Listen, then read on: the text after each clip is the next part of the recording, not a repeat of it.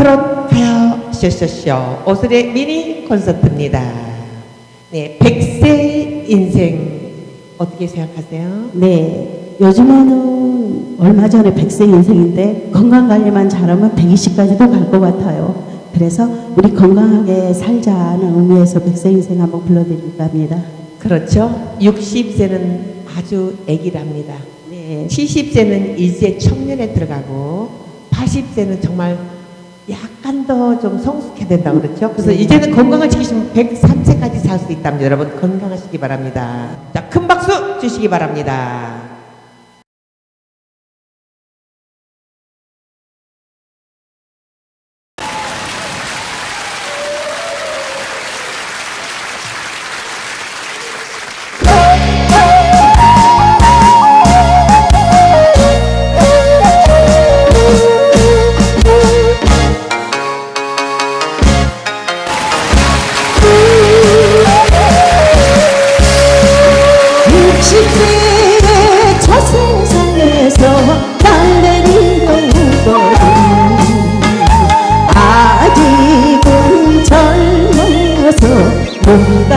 전해라 칠십세의 저 세상에서 날 내리려 오거든 할 일이 아직 남아 못 간다고 전해라.